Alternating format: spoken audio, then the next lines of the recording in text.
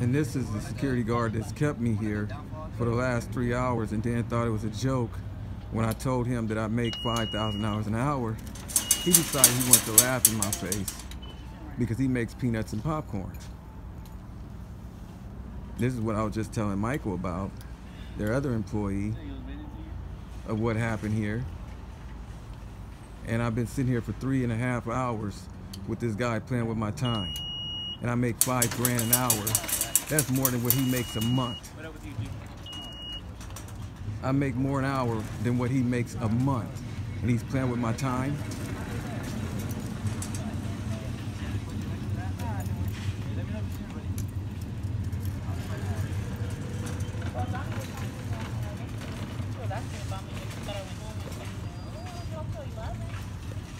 This right here is the tyrant that caused all these problems.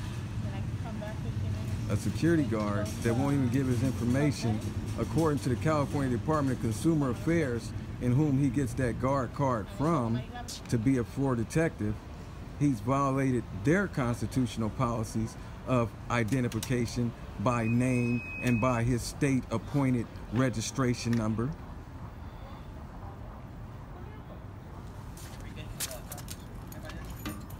But he will be taking the walk of shame if he don't leave in handcuffs himself for illegally detaining me, which is kidnapping. He walked off for three hours while I was still sitting there waiting for the police to arrive.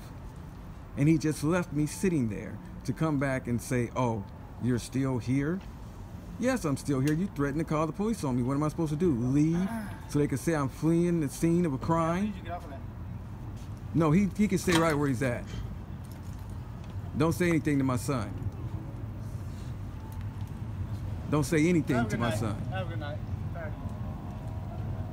You lost your job. That's what you done. You lost your job. And tell that manager she lost hers too.